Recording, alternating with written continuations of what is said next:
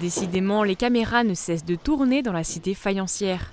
Pour cette nouvelle réalisation, c'est l'équipe de Mosaïque Cristal qui est aux commandes pour une nouvelle mini-série de 8 épisodes sur le thème de l'apprentissage.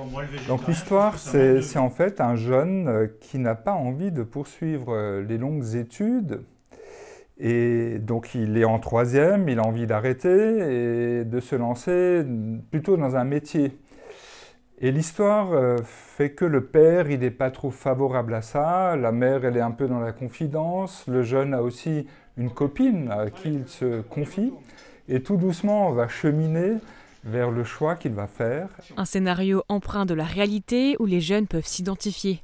Le tournage est encore en cours avec des acteurs du secteur, comme Paul Aimé dans le rôle du jeune à la recherche d'une orientation. Actuellement en terminale au lycée Henri Nominé, il a décroché le rôle après un casting. Moi, j'aimerais bien faire des études euh, dans l'audiovisuel l'année prochaine. Et du coup, je pense que c'était une bonne opportunité euh, d'aller voir sur un plateau, tout ça. Et puis là, en plus, comme je jouais, euh, je pense que c'était c'est toujours une petite expérience sympa à apprendre. Enfin voilà, quoi. Je pense que ça pouvait toujours être enrichissant. Les scénettes ont pour but de mettre en lumière la section apprentissage du lycée Henri Nominé et plus précisément les formations de l'UFA Michel Roth, comme celle liée à la cuisine. Qu'est-ce qu'on mange ce soir? Végétarien. Oh ça manque de viande. Des légumes mmh. et la fameuse purée de ton fils là. Ce projet pourrait sensibiliser les jeunes à se tourner vers ce genre de filière qui recrute mais peine à trouver ses candidats. Vous pourrez bientôt retrouver la mini-série sur la chaîne de Mosaïque Cristal. Action